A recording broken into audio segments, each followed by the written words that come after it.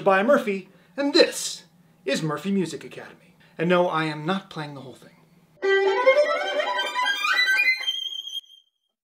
And of course, if you find yourself needing a little bit more personalized help with your spiccato, then don't hesitate to shoot an email to admin at murphymusicacademy.org to set up your trial lesson.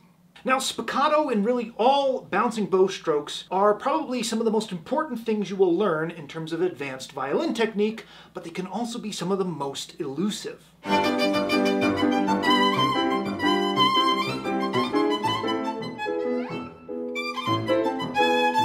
To truly master the bouncing bow strokes, you have to have complete control over the six major motions of the right arm, those being the motion from the shoulder, elbow, wrist, fingers, and then the rotation motions of the upper arm and the forearm.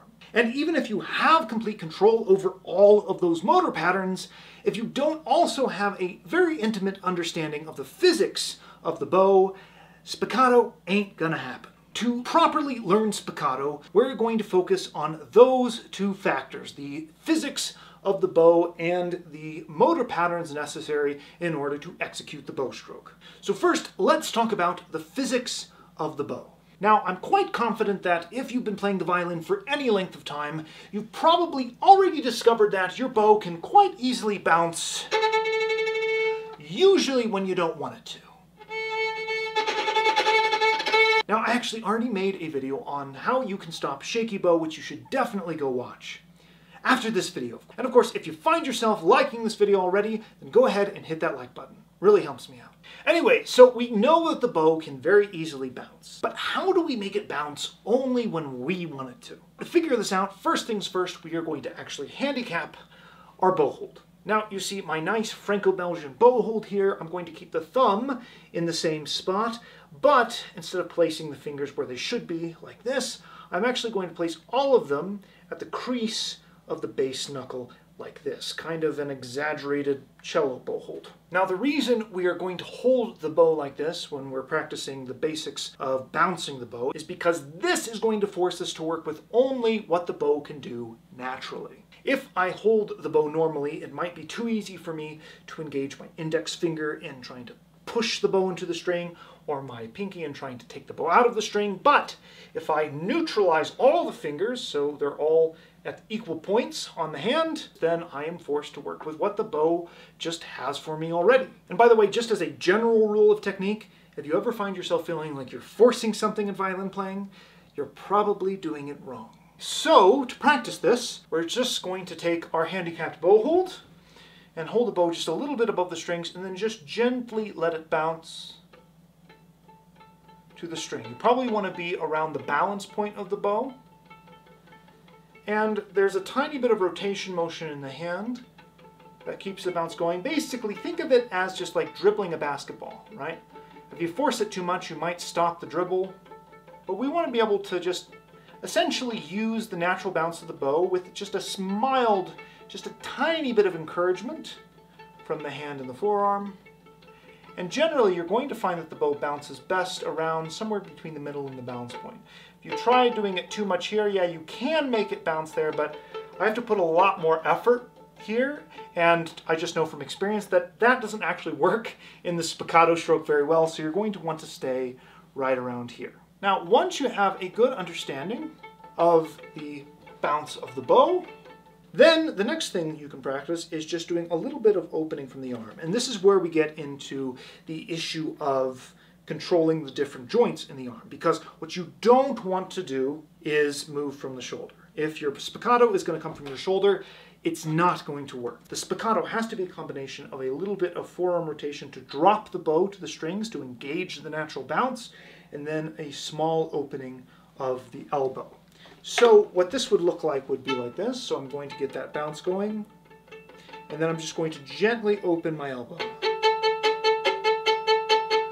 It's not going to sound that pretty, but once again, this is all about finding the feeling of the natural bounce of the bow. By the way, I know I said no motion from the shoulder. You are allowed a certain amount of sympathetic motion from the shoulder. So the impetus of the bow motion is still coming from the elbow, but if there's a little bit of wiggle in the arm, that's okay. We just don't want to initiate the motion of the bow stroke from the shoulder. Now, once you've familiarized yourself with just the natural bounce of the bow, then it's time to work on the second issue, which is a little bit what we just talked about in terms of the actual physical motions of the arm. As I said before, we want to make sure that the bow is a combination of rotation of the forearm to drop, and then also the opening and closing of the elbow. However, even if you understand the natural springiness of the bow and you're completely doing the motions here correctly, a lot of students still run into the problem that their spiccato tends to sound like this.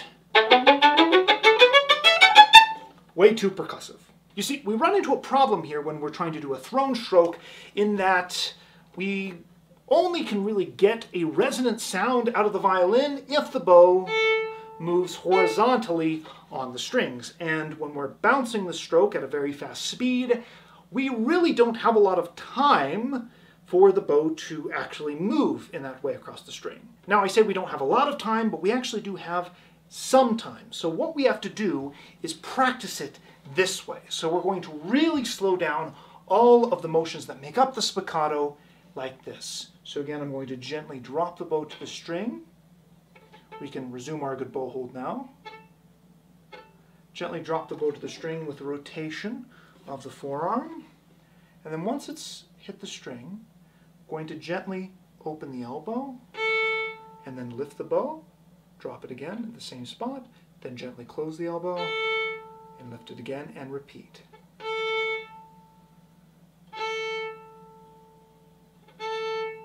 And as you're doing this, you want to shorten the length of time between the dropping and the opening or closing of the elbow. So, and get it shorter faster. Now, it will take quite a bit of experimentation, but eventually you will find the perfect ratio between the vertical motion and the horizontal motion. And as you go a little bit faster, you can start to combine that with the natural bounce of the stroke, and there you have all the ingredients necessary for a good spiccato. Spiccato is really not much more complicated than this. The difficulty really is just in finding the proper ratio for each ingredient. And of course, as you get better at spiccato, you might find yourself wanting to vary the various ingredients. You actually might find yourself wanting to do a little bit more percussive stroke. And then other times you might want to make it a little bit more resonant. Keep experimenting with this and you will soon find yourself with a new broad palette of tone colors that you can engage in your spiccato. Now that's basically it for spiccato, but I do think I should speak a little bit about spiccato's sister stroke, sautille. Now sautille is a bounced stroke, but not in the same way as spiccato, in the fact that it's not a thrown stroke. Spiccato instead engages the natural springiness of both the bow and the string by pushing down using wrist motion into the string and then allowing that springiness of both the string and the stick to push the bow back up by pushing the bow down into the string with the wrist motion and then allowing the natural springiness of the string and of the bow stick to push the bow back up. If you go fast enough, you create a tiny little bounce that, if you go fast enough, creates a very clear articulation.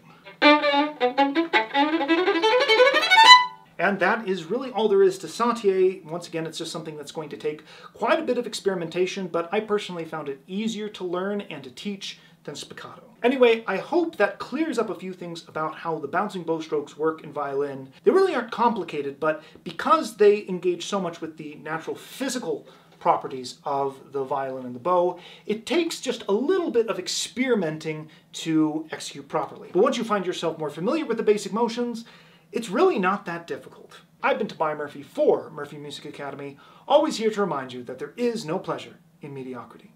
Happy practicing, and I'll see you next time.